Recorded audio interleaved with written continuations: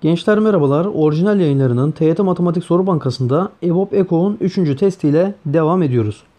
Yukarıda iki farklı renge boyalı kargılar verilmiştir. Her kargı özdeş parçalardan oluşmuş olup bu parçaların her birine boğum adı verilir. Mor renkli kargının bir boğum uzunluğu mavi renkli kargının bir boğum uzunluğundan 1 santim fazladır. Yani ben mavi renkli kargının uzunluğuna k diyecek olursam mor renkli kargının uzunluğu da ne olacak arkadaşlar? k artı 1 olmuş olacak. İki kargı da 210 santim olduğuna göre mor kargı kaç boğumdan oluşmaktadır diyor. Şimdi arkadaşlar bu k artı 1 bak bu da k artı 1 işte bu da k artı 1. Peki bu k artı 1'lerden kaç tane var? Diyelim ki a tane olsun. O zaman bunun toplam uzunluğu ne olacak? a çarpı k artı 1 santim olacak. E bu da arkadaşlar 210 değil mi? Evet. Benzer şekilde bakın bu k'lardan kaç tane olsun? Diyelim ki b tane olsun. O zaman bunun toplam uzunluğu b çarpı k olmaz mı? Evet. E bu da 210 değil mi arkadaşlar? Evet. E o zaman dikkat ederseniz a çarpı k artı 1 eşittir b çarpı k eşittir 210 e, anlamına gelir. Buradan a'yı çekecek olursam 210 bölü k artı 1 b de arkadaşlar 210 bölü 210 bölü k olacak. Yani 210 sayısı hem k'ya hem k artı 1'e bölünecek. Dikkat ettiğimiz takdirde k ve k artı 1 ardışık sayılar olduğundan dolayı arkadaşlar 210 ardışık sayılardan hangisine bölünebilir? Bakın k yerine ben 14 dediğim takdirde 14 ile 15'in katıdır 210. E demek ki buradan k'yı 14 olarak biz ne yapabiliriz? Bulabiliriz. Peki bizden ne istiyordu? Mor kargı kaç boğumdan oluşmaktadır? E mor kargının uzunluğu k artı 1 değil miydi? Yani 15'ti. Bu 15'lerden arkadaşlar kaç tane var acaba? Ne yaparım ben bunu bulmak için? 210'u 15'e bölerim. Böldüğüm takdirde de 14 olarak bulmuş olurum. Doğru cevabımız C şık. Geldik 2'ye. Yukarıda verilen düzgün beşgen ve düzgün sekizgen üzerindeki oklar bir rakamını gösterirken iki çokgende O merkezleri etrafında sabit hız ile saat yönünün tersinde dönmeye başlıyor. Düzgün beşgen 2 tam turu 5 saniyede, sekizgen ise 1 turu 8 saniyede tamamlıyor. Dikkat edersek burada 1 tur var, burada da 2 tur var. O zaman ne olacak arkadaşlar? Bu da 1 turu 5 bölü 2 saniyede tamamlayacaktır. Yani her 5 bölü 2 saniyede bir nereye gelecek arkadaşlar? 1'e gelecek. Benzer şekilde bu da her 8 saniyede bir 1'e gelmiş olacak. Buna göre kaçıncı saniyede 2 okta bir rakamını gösteriyor? Olamaz. 2 okunda bir rakamını gösterdiği duruma bakalım arkadaşlar. Diğeri de bakın bir turu 8 saniyede tamamlamıyor muydu? Evet. İkisi de aynı anda tekrar bir rakamına ne zaman gelir ona bakalım.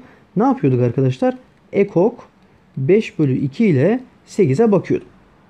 Peki bunu pratik olarak bulmanın bir yolu vardı. Neydi? Pay kısımlarının ekokunu alıyordum. Bakın şunun paydasında da 1 var. Değil mi? Paydanın da neyini alıyordum arkadaşlar? EBOB'unu alıyordum. Yani 2,1. 5 ile 8'in en küçük ortak katı 40. 2 ile 1'in en büyük ortak bölünde 1'dir arkadaşlar. Bu ne anlamı geliyor? 40. 40 ve 40'ın katı olabilir. Yani 40 ve 40'ın katılı katlarında ikisi de bir nolu oka gelmiş olacak arkadaşlar. Demek ki bakın 40, 80, 120 ve 160 bunlar ne olacak arkadaşlar? 40'ın katı olacak. Bakın B şıkkı e, olamayacaktır. Anlaştık mı? Doğru cevabımız buna göre 60 olacak. Geldik 3'e. Ayrı uzunlukları 140 santim ve 24 santim olan iki farklı küp şekildeki gibi aynı renkli küpler üst üste konulacak şekilde düz bir zemine yerleştiriliyor. M tane yeşil küp ve N tane mor küp üst üste konulduğunda iki setin yüksekliği birbirine eşit olduğuna göre diyor arkadaşlar. Bakın yükseklikler ne olacakmış? Eşit olacakmış. Bakın bu 140 140 bu şekilde gitmeyecek mi? Evet. Kaç tane 140 var? Diyelim ki A tane. O zaman uzunluk ne olacak? 140 çarpı A olacak. Arkadaşlar bu 24 24 girip gitmeyecek mi? Evet. Bunda da kaç tane olsun? 24 e, tane B olsun arkadaşlar. B tane 24 olsun. O zaman uzunluğu 24 çarpı B olmayacak mı? Evet. Peki bunlar birbirine eşit olacaksa arkadaşlar ne yaptım? Bunları birbirlerine eşitledik. Sadeleştirmelerimizi yapacak olursak 4 ile sadeleştirirsem 35, 4 ile sadeleştirirsem 6 olacak. Buradan da 35A eşittir 6B ifadesine ulaşmış olacağız.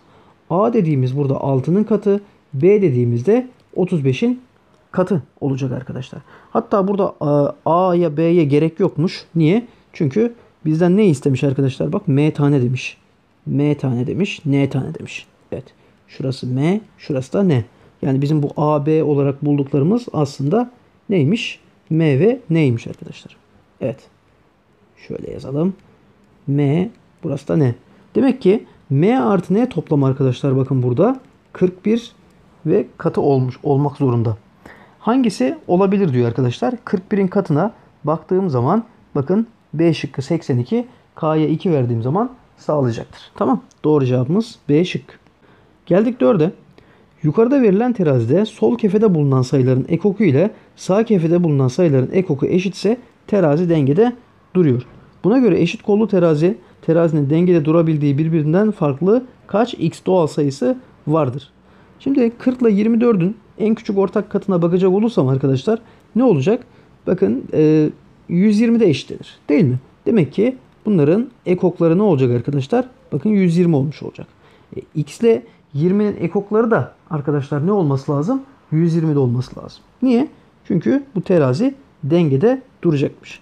Şöyle x ve e, 20'yi ele alacak olursak arkadaşlar tablo şeklinde ekokları bir kere 120 olacak. Bakın 20'nin e, asal çarpanlarını ayırdığım zaman ne olacak? 2'nin karesi çarpı nedir arkadaşlar? E, 5'tir. Değil mi? 4 çarpı 5'ten 20 gelecek.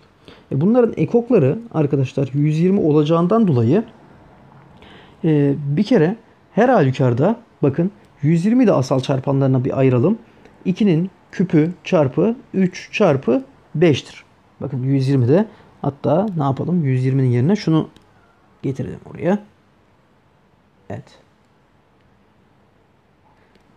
Şimdi arkadaşlar bakın e, ben en küçük ortak katı bulurken ne yapıyordum? Tabanları aynı olanın üstünü büyük olanı al, seçiyordum. Öyle değil mi? Bak burada 2'nin karesi var. Demek ki ekoktan 2 üzeri 3 gelecekse kesinlikle ve kesinlikle arkadaşlar x de bir kere 2 üzeri 3 çarpanı ol, olmak zorunda. Bak burada 3 çarpanı falan yok. O zaman arkadaşlar 3 çarpanı da kesinlikle ama kesinlikle neyden gelmek zorunda? Ee, x'ten gelmek zorunda. Peki şimdi bu, bu kesin. Yani x'te 2'nin küpü çarpı 3 çarpanı olmak zorunda. Şimdi bakalım arkadaşlar 5'e. 5 x'te olmasa bak 5 x'te olmasa o zaman bak burada vardır. Şurada vardır. O zaman bunların yine en küçük ortak katı 120 olur mu? Olur arkadaşlar. Bak 5 burada olmasa. Peki x'te 5 olmuş olsa ekoklarında herhangi bir farklılık olur mu arkadaşlar? 2 çarpanına da baktığım zaman ikisinde de 5 var ya. Bir tanesini alırım ve ekokları yine ne olmuş olur arkadaşlar? 120 olmuş olur. Yani buradan diyeceğimiz e, o ki arkadaşlar x'in içerisinde 5 olabilir ya da olmayabilir. Tamam mı? Demek ki iki tane bizim neyimiz var? Alternatifimiz var.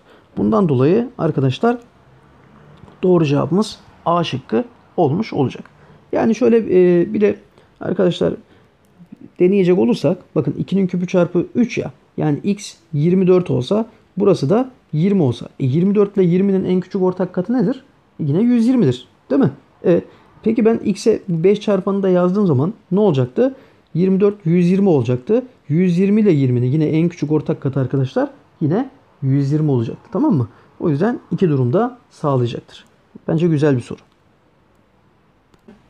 Yukarıdaki merdivenlerle ilgili aşağıdaki bilgiler verilmiştir. Her bir merdivenin basamak yükseklikleri kendi içinde eşit tam sayı uzunluğa sahiptir. Arkadaşlar şurada bir herhalde baskı hatası olmuş.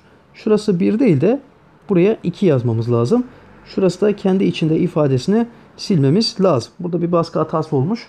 Şu anda e, soru bu haldeyken arkadaşlar tekrar çözün. Tamam mı? Çözüme ulaşamadığınız takdirde yine benden dinleyin. Ben şimdi e, soru bu haliyle çözdüğünüzü e, düşünüyorum ve devam ediyorum arkadaşlar. Tamam mı? Her bir merdivenin basamak genişliği kendi içinde eşit tam sayı uzunluğa sahiptir.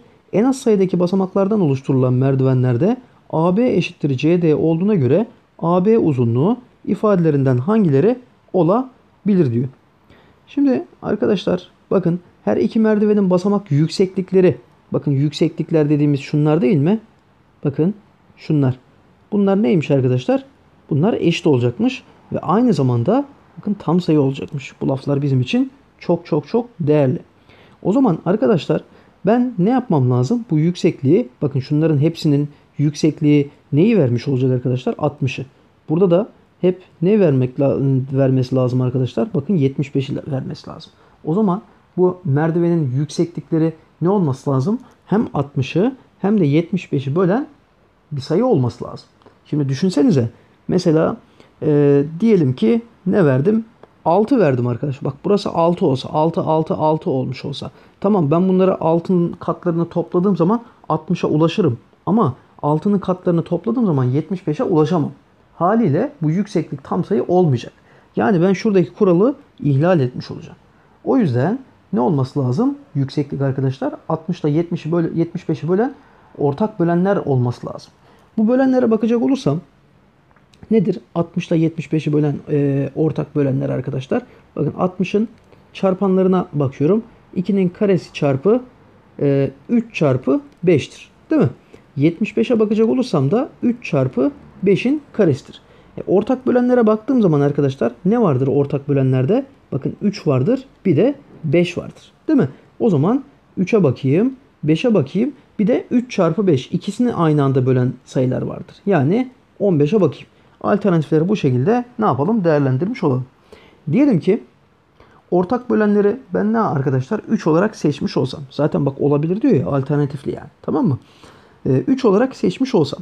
E, o zaman 60 bölü 3'ten ne olacak arkadaşlar? 20 tane böyle yükseklik olacak. Doğru mu? 20 tane ne olacak? Böyle yükseklik olmuş olacak.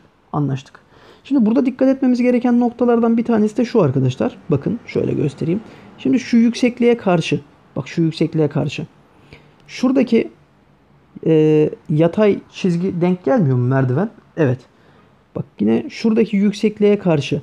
Buradaki arkadaşlar yine yatay merdiven denk geliyor. Yani her dikeye karşı her yatay geliyor arkadaşlar. O zaman kaç tane dikey varsa o kadar da yatay yok mudur? Evet bakın burası önemliydi.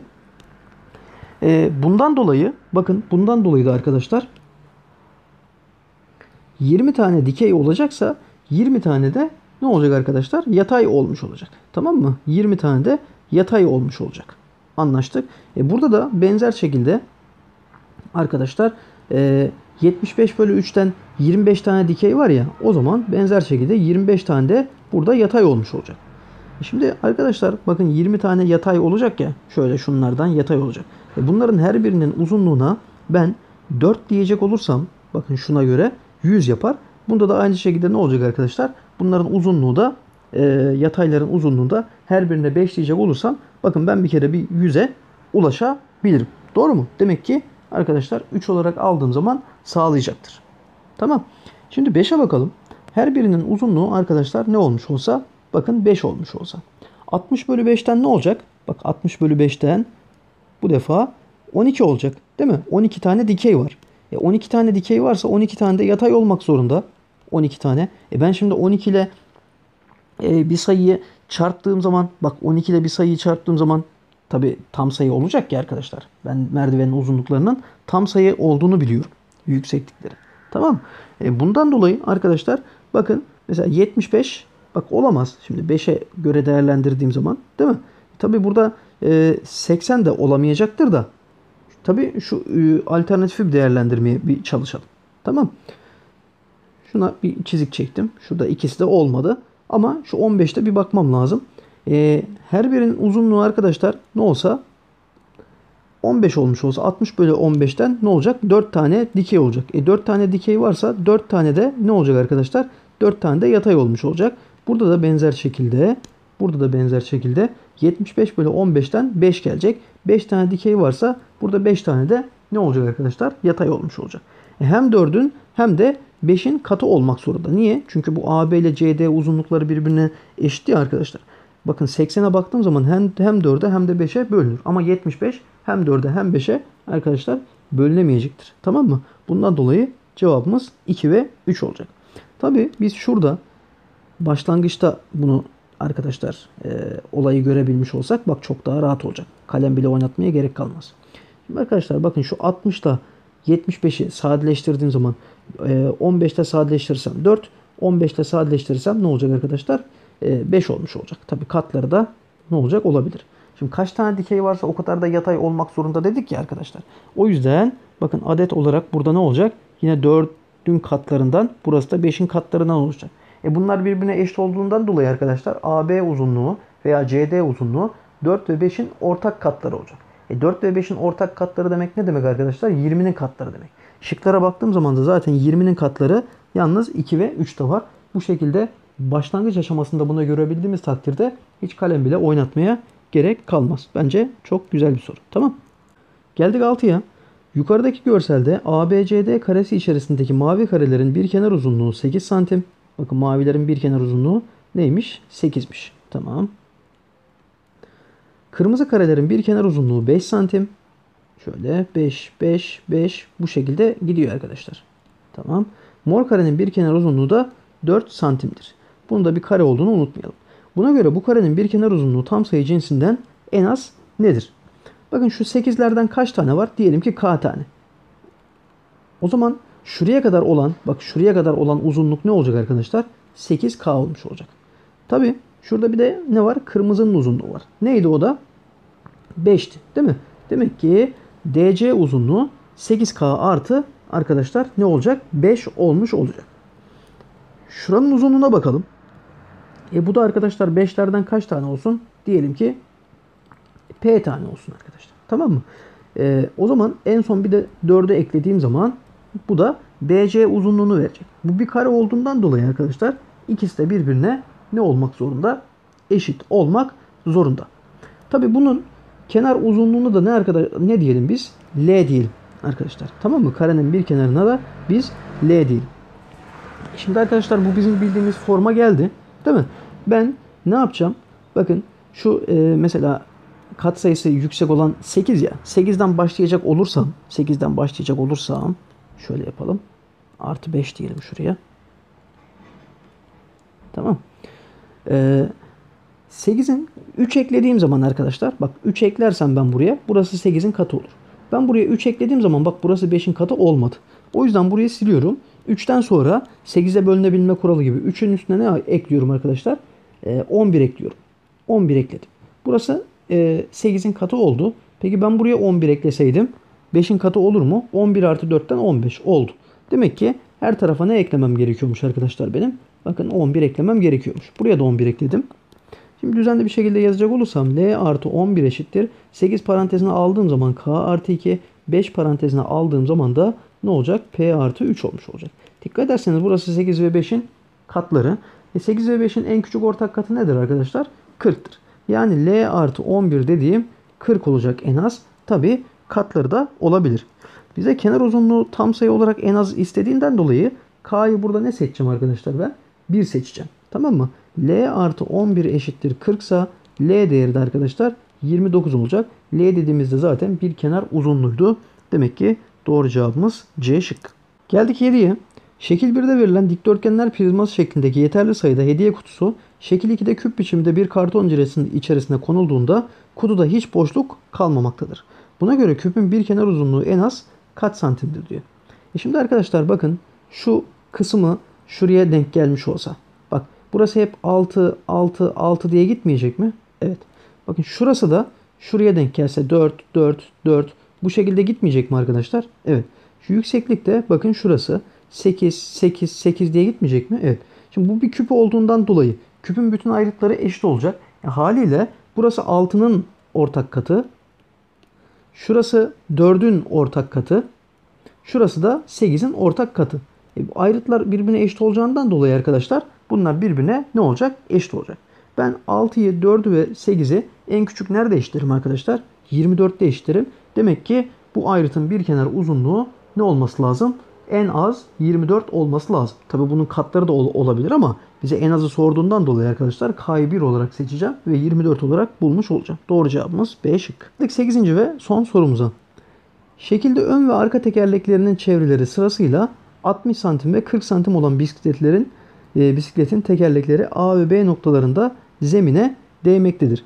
Bisiklet belli bir mesafe yol gittikten sonra tekerleklerin zemine değdiği A ve B noktaları C ve D'ye geldiği anda şekildeki görünüm elde edilmiştir. Buna göre A ve E noktaları arasındaki mesafe ifadelerinden hangileri olabilir diyor.